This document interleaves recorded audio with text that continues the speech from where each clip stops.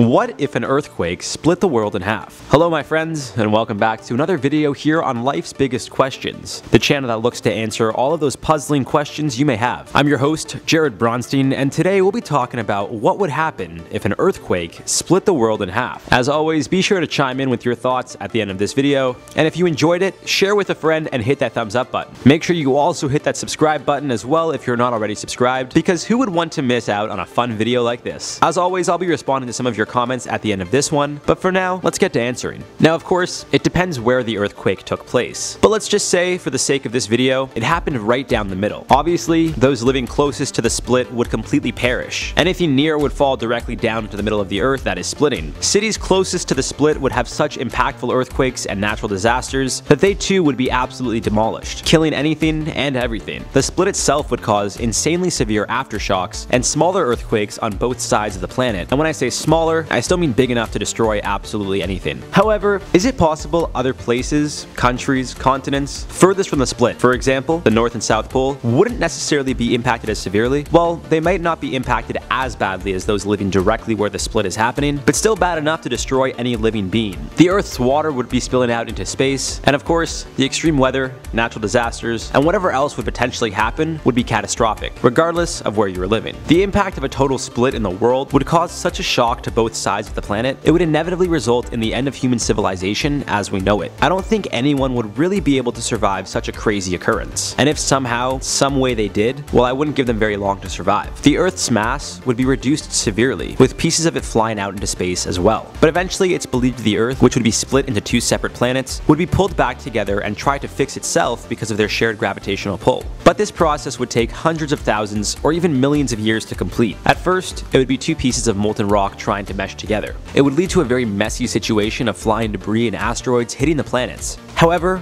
over time, eventually, the two sides would mold together and form a smaller planet, the New Earth. Our new Earth would still be too hot for any life forms to be able to survive. But after millions of years, the molten hot surface would cool down, and the Earth would start to build an outer shell, or crust, of land, just like the one we're currently living on. This would eventually lead to the possibility of new life forming on the new Earth. It would most likely start off with some form of bacteria that would, over hundreds of millions of years, develop into a much larger species. Now, as crazy as all of this sounds, we really have no way of knowing if this is what actually happened to our Earth years ago. I'm talking maybe hundreds of millions of years ago. There was a civilization just like us that one day, unfortunately, messed up their habitat so badly that it caused their untimely deaths. We really have no way of knowing because everything would have been destroyed. But thankfully, at least for us, it doesn't seem like an earthquake is going to be splitting the Earth in half anytime soon. For that to happen, a force so strong would need to somehow shake the Earth to its core and cause it to completely tear apart. I don't like saying things are impossible, but that'd be a very, very, very tough thing to accomplish. But with that being said, the way things have been going, well, you never know what direction our world is headed in. As always, I love hearing from you guys, so feel free to drop us some comments down below with your thoughts on what would happen if an earthquake split the world in half. For now, I'll be responding to some comments from a previous video we've done. In the video, What if the Amazon rainforest burned down? John John said, In case y'all ain't know, it actually has been burning for the past three weeks. Well, John, we appreciate the update, but Quite honestly, we kinda know that, which is why we made the video. Our video is saying, what if the entire Amazon burned down? Wonton Production said, what do you mean if? It is burning down, fool. Thank you for that, Wonton, we were unaware. Savage Jarred coming out. Of course, guys, we know about what's happening in the Amazon, and it is rather tragic and horrible that no one's really doing much to help the situation, but hopefully it won't be before long before someone steps up and does what they feel they have to do to help the whole situation and stop it from burning.